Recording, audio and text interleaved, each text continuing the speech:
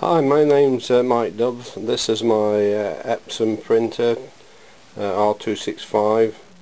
An excellent printer. I've got it set up to uh, print uh, A4 photographs as cheaply as possible. I do quite a few of these over the years. I, I, I must have um, had it three or four years now and um, it's done, I had a tot up the other night, it's done about 14,000 A4 photographs and so it's an excellent machine and still going strong. When you get the red lights flashing, no need for you to panic. Uh, what you need to do is go on the web and get a uh, get a disk uh, with the software to reset the counters. Uh, get the pads out, that is the waste ink tank pads, clean them and put them back. Now the problem with that is that uh, the machines are very difficult to uh, to get into uh, but I'll show you how to do that now. First of all this is an old old machine that I bought for oh I don't know ten pounds or something like that that uh, so I'll show you on this machine um, the carriage is missing but you can see down there in the corner there the uh, waste pads that we've got to get to. The first thing to do is to remove the screws at the rear, these here uh, one this side and one the other side so that these cheeks here can be pulled uh, back.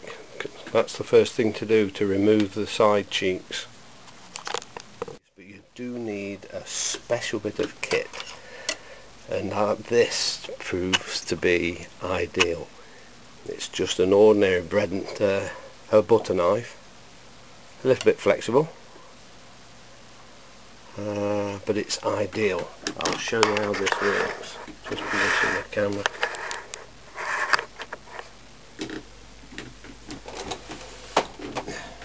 All you need to do is slide this behind here and this is the Epson go to a lot of trouble to make sure that you don't. You see it's opening up a little now. I just need a something just to prise it a little, perhaps down here.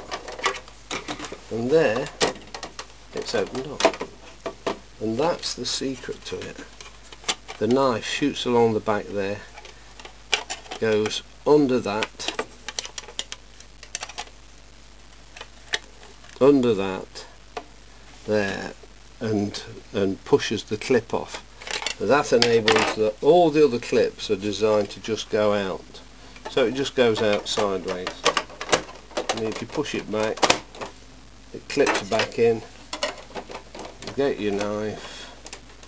Press against it. And a little bit of prise in the other clips come out. And it's off. That took me years to find that out. Do this side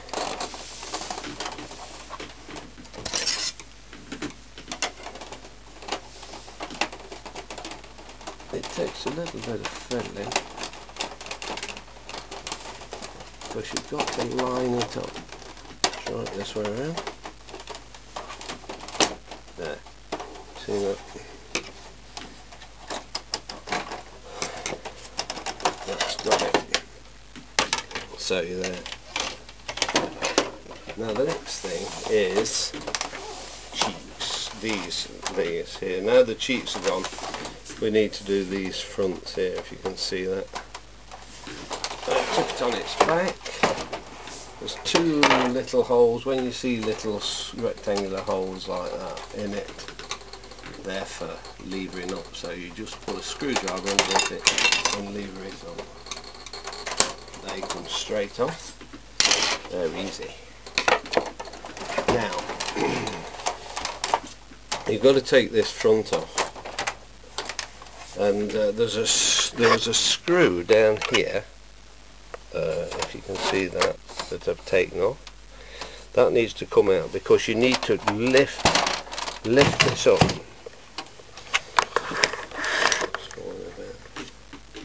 So first of all put it on its back again and then just prise these bottoms out. Well that one's already out that comes out like so put it down and then you need to lift that up so that this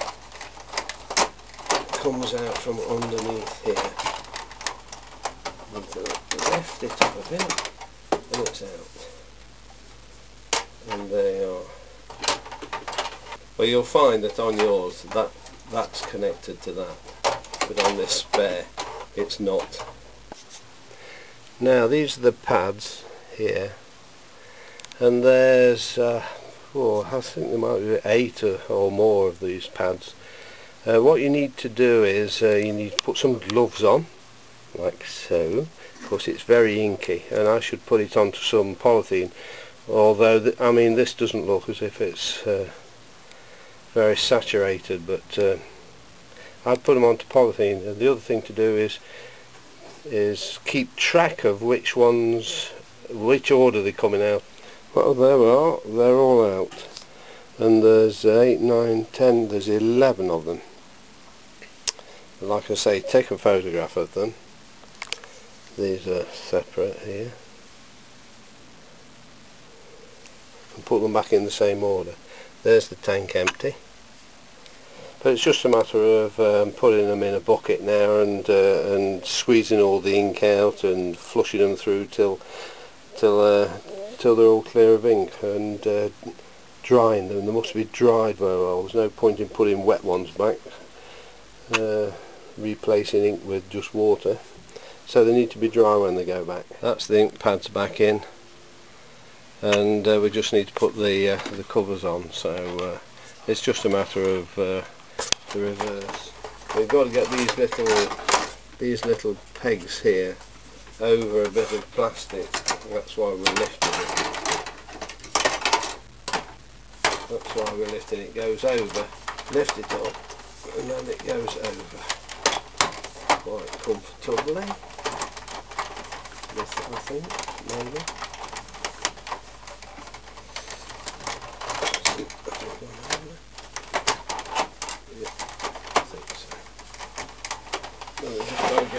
The in, the bottom in, this in, squeeze it together, all the clips just go in, nice tight fit just there, see that underneath there, this part, flush in, there's clips underneath there that just hold it. Hold the thing in place until you get the side cheeks on. And then uh, I might well put these these facial pieces on. They just clip straight in very easily. Clip. Clip. See it goes together much easier. This goes on here. So you just put it on just the head there and then squeeze it together? Put the screw in there. Don't forget to put the screws in. There. And that's all there is to it. It took me ages to find that out